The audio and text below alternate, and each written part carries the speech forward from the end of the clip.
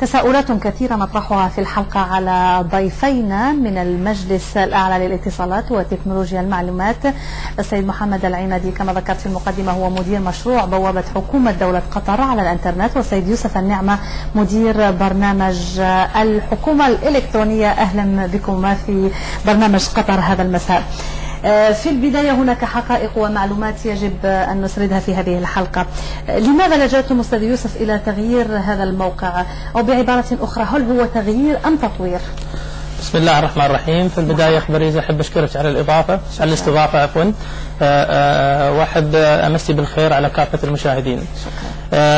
بالفعل تم يوم أمس تدشين بعون الله وتوفيقه بوابة حكومة دولة قطر على الإنترنت والمعروفة واللي تم اختيار اسم حكومي آه، لتمثيل هذه البوابة. آه، البوابة تأتي في الحقيقة استكمالا آه، لما تم إنجازه من قبل موقع الحكومة الإلكترونية السابق أو مشروع الحكومة الإلكترونية السابق. البوابة طبعا كل الخدمات التي تم إنجازها من قبل الحكومة الإلكترونية السابق السابقة هي عبارة عن جزء لا يتجزأ من البوابة الحالية أو بوابة حكومي آه، في بعض الأسس الأساسية أحب أني أذكرها واوضحها آه، قبل آه، اللي هي تميز البوابة هذه عن الموقع السابق. هو في الحقيقة مو بتغيير لكن تطوير واستكمال مثل ما تفضل.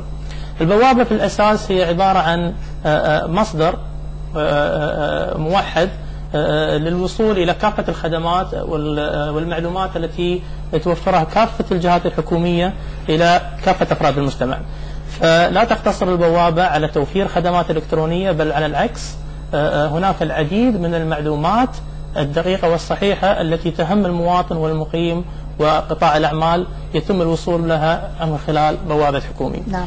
السبب الأساسي الثاني اللي بنيت عليه آه، أو الأساس الثاني اللي بنيت عليه بوابة حكومي هو في الحقيقة أن بوابة حكومي لا تمثل جهة, جهة معينة ولا آه، آه، تمس بجهة معينة فهي بوابة حكومة دولة قطر على ظلت حكومة دولة قطر. بالضبط. فهي مدخل إلكتروني لحكومة دولة قطر آه، وهي بالحقيقة تعكس مدى التزام كافة الجهات الحكومية في التنسيق وتوحيد الجهود فيما بينها لتظهر بصورة حكومة واحدة تخدم كافة أفراد المجتمع نعم إذا كل الجهات تشارك في هذا الموقع نعم. لكن ليس لديها ليس لديها يعني جهة مسؤولة آه هي دا أنتم ترون مجلس نعم. يعني هذا نعم إحنا إحنا فعلا كنا مسؤولين عن تطوير البوابة ولكن آه, البوابة جاءت آه كنتيجة للتنسيق والتعاون بين 48 جهة حكومية الجهات الحكومية مشكورة وما قصرت الحقيقة قامت بتغذية البوابة آه،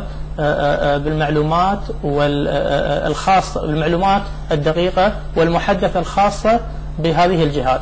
فتم التنسيق معهم في توفير هذه المعلومات لتكون جزء من البوابة في المرحلة الحالية. الموقع جاهز، معلوماته جاهزة، كل شيء جاهز؟ آه الحمد لله فقط. امس تم الإعلان فقط عن انشائه لا آه الموقع أو البوابة موجودة وبالفعل آه هناك الكثير من المعاملات الإلكترونية التي قد أنجزت خلال الأيام المنصرمة وموجود والكل ممكن إنه يدخل على البوابة ويجربها إن شاء الله. نعم، آه، سنتحدث عن تفاصيل هذا الموقع لكن دعنا الآن نتابع يعني تفاصيل يعني كيف يستخدم هذا النظام أستاذ محمد؟ يعني وإلى أي فئة هو موجه؟ بسم الله الرحمن الرحيم في البداية آه، طبعا يمكن الوصول إلى بوابة حكومة دولة قطر على إنترنت حكومي آه، من خلال عنوان آه، الانترنت www.gov.qa طبعا آه، مثل ما قال الأخ يوسف طبعا البوابة تعتبر مصدر موحد للمعلومات والخدمات التي تقدمها جهات الدولة المختلفة. هي طبعا في المرحلة الأولى موجهة لثلاث أو أربع فئات رئيسية أو شرائح رئيسية في المجتمع. آه، شريحة المواطنون وشريحة المقيمون وقطاع الأعمال والزوار. نعم. آه، كيف يستخدم هذا الجهاز؟ ولو يعني عندك هنا هنا امامنا لابتوب يعني نعم. لإبراز هذا الاستخدام.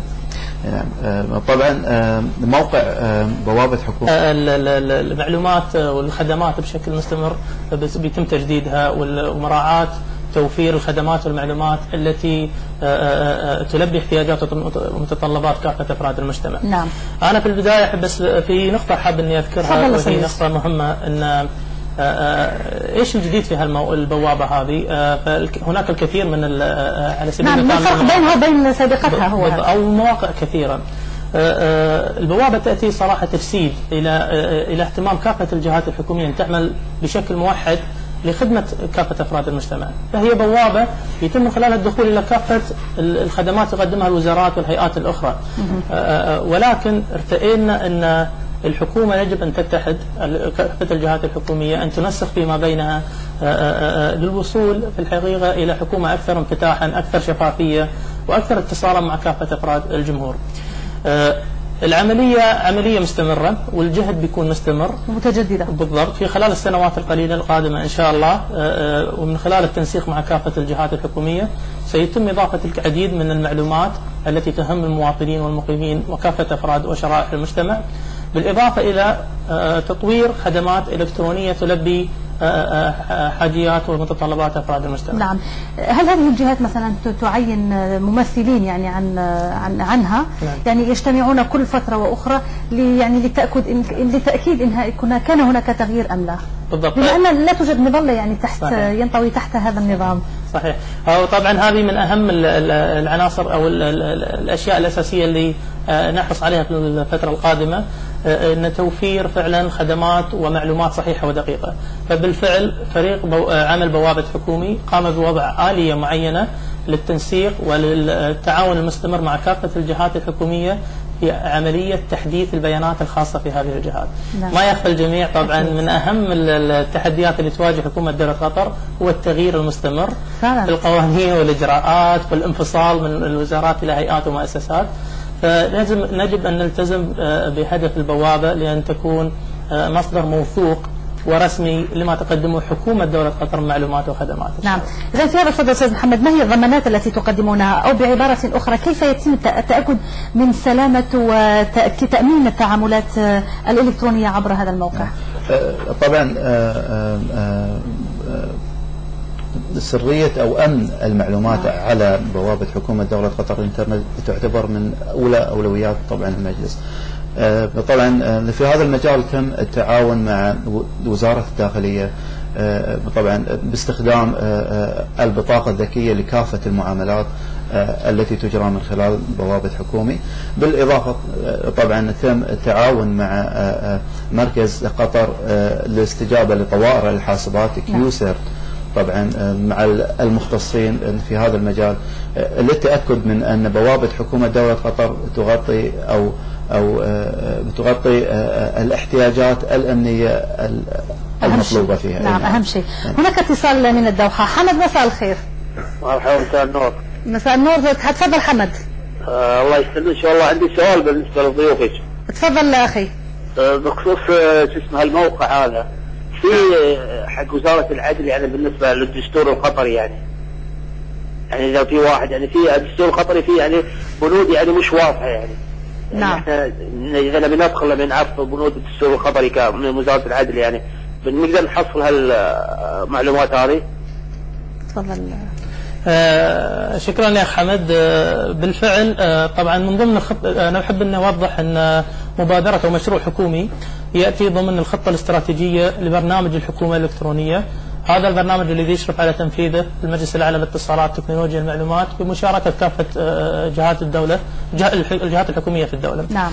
ومن ضمن هذه المبادرات أو الخطة الاستراتيجية للحكومه الإلكترونية هي توفير كافة التشريعات والقوانين الخاصة بحكومة دولة قطر لتكون موجودة من خلال بوابة حكومي.